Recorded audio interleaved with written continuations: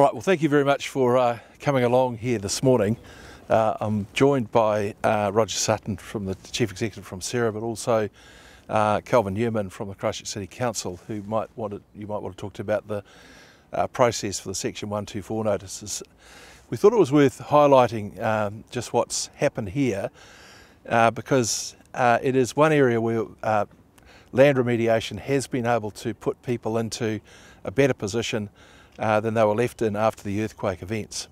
So these houses were subject to uh, Section 124 notices, not only because of the damage to the houses themselves and therefore their livability, but also because of the geological hazard uh, that existed uh, up on the hill behind them, uh, where there was loose material from an old quarrying operation that would have meant they were subject to uh, rock roll. so in this case, it was possible to put together a project that saw uh, the benching of the, uh, the, the, rock face, the cliff face, uh, to effectively remove that hazard and to put these people back into a safe position. So the cost of this project was uh, in the vicinity of the million dollars. Uh, it's been done over the month since last September. Uh, and it's the engineering expertise of Aurecom and the construction expertise of Downer that have enabled it to be successfully completed. I think the point here is that it would be great throughout the Port Hills if there were other options uh, to be able to save the uh, or to take away the, the risk factors for people. But as you can see, it's, it's not a simple task. And this is one of those areas where it was possible and we did it. Uh, in other places, it just hasn't proved to be uh, an option for us.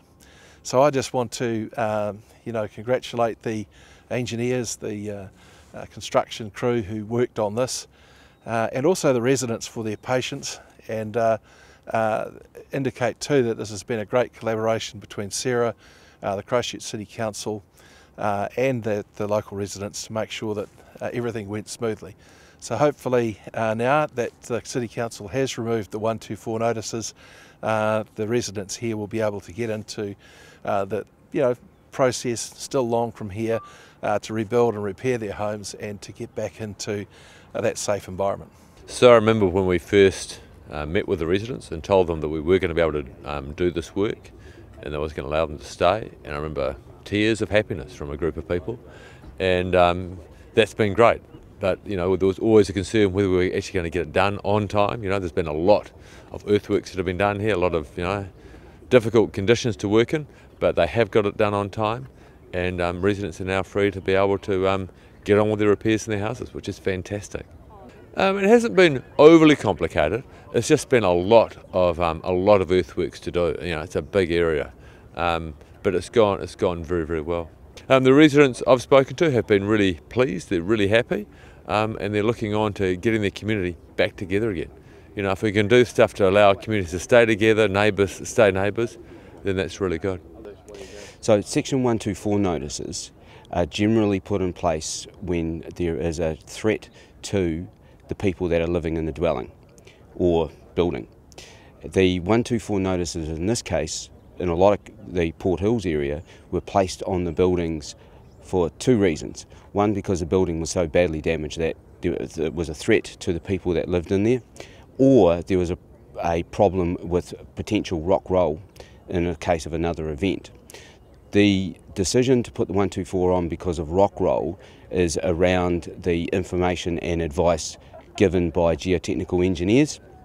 And once we receive that advice, we act on that advice. There is a process that we put in place and also a process for lifting the 124 notices.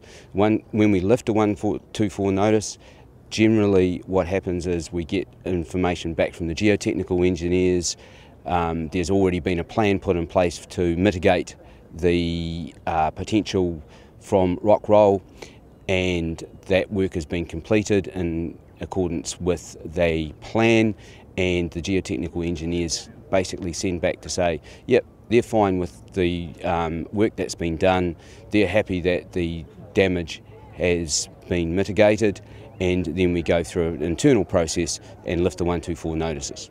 In, in the case of Lucas Lane, the 124 notices were lifted a day ago um, and that was on the advice from the geotechnical engineers, and that was just uh, the, the, following the same procedure as lifting any other 124 notice in the Port Hills area.